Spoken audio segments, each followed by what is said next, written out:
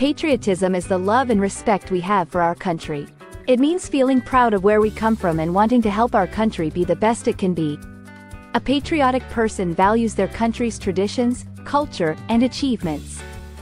Being patriotic involves more than just celebrating national holidays or showing respect for the flag and anthem. It also means being a good citizen, following the laws, helping others, and taking part in the community. Patriotic people care about the well-being of their country and are willing to make sacrifices for its improvement. Patriotism brings people together, especially in tough times.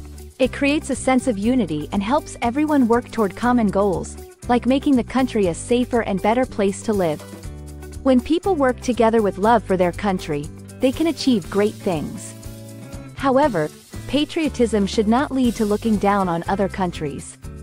True patriotism means loving your country while respecting others. It's about wanting the best for your own country without disrespecting or harming others. In summary, patriotism is about loving and respecting your country, being a good citizen, and working together to make it a better place for everyone.